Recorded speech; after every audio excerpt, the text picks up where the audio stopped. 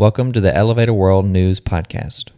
The new 2015 Field Employees Safety Handbook is edited by the NEI Safety Committee to include the most up to date safety procedures for protection of field employees on every construction site or maintenance job.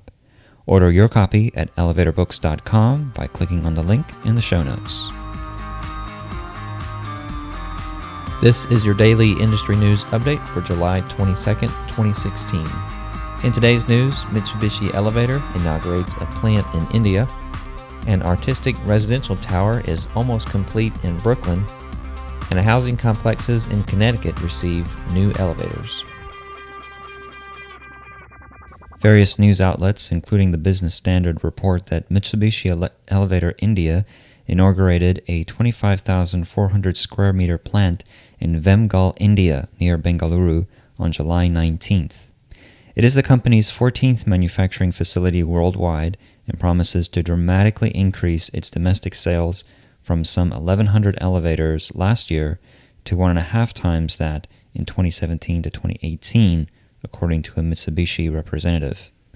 With a focus on the NEXIEZ-LITE elevator line for low to mid rise buildings, the plant is expected to start producing in December and reached first phase annual capacity of 5,000 units in four to five years.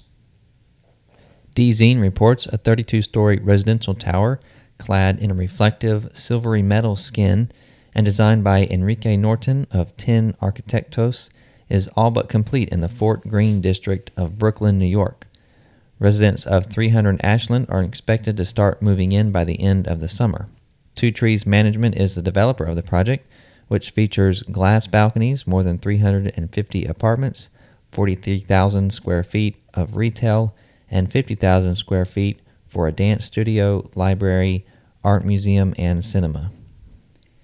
The New Haven Register reports that on July 19th, public officials and residents of a pair of public housing complexes in New Haven, Connecticut, welcomed a long overdue elevator overhaul.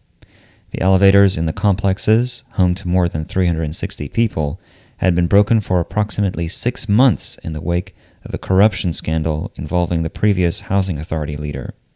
The 1.16 million US dollar renovation fixed some elevators that were more than 20 years old.